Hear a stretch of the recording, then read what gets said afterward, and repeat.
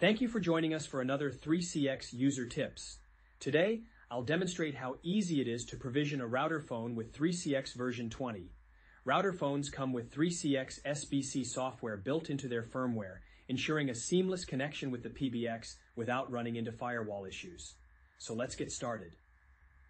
For this demo, we'll assume you don't have any 3CX SBCs or router phones set up yet. If you're repurposing an existing phone, please start by performing a factory reset. Step 1. Install the latest firmware for your phone. You can find the firmware download page for version 20 at the link below. This is a mandatory step as old firmware may not include the necessary SBC software. Once the firmware is successfully installed, proceed to factory reset the phone. Step 2.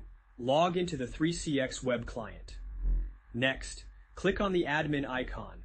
In the left-hand menu, navigate to Users and select the extension you want to assign the phone to. In the User Profile section, select IP phone. Click on Configure a phone. Step 3. Configure the phone select the appropriate phone model from the drop-down menu. Enter the MAC address of your router phone and finally click Next. Step 4. Provision the phone. Under the Configure. Your phone section, choose Connect Directly.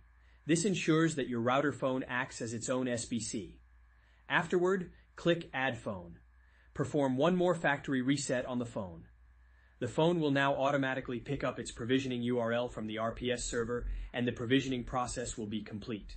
Well done, you have now successfully provisioned your 3CX router phone.